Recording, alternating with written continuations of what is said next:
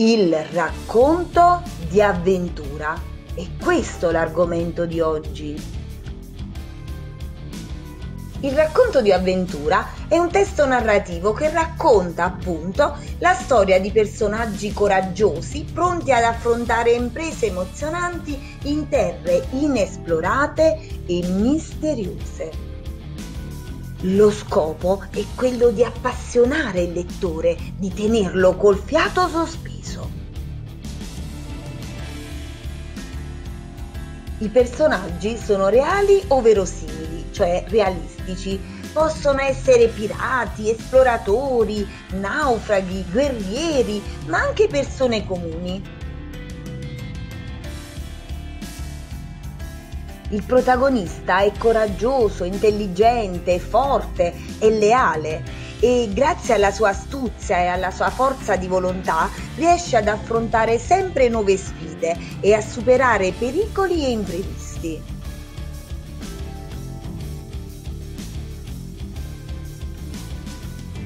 Spesso il protagonista non è solo, ma ha dei compagni che lo aiutano a combattere contro il nemico, cioè contro l'antagonista, che è il personaggio malvagio, quello egoista, e può essere una persona, ma anche una belva feroce o una forza della natura.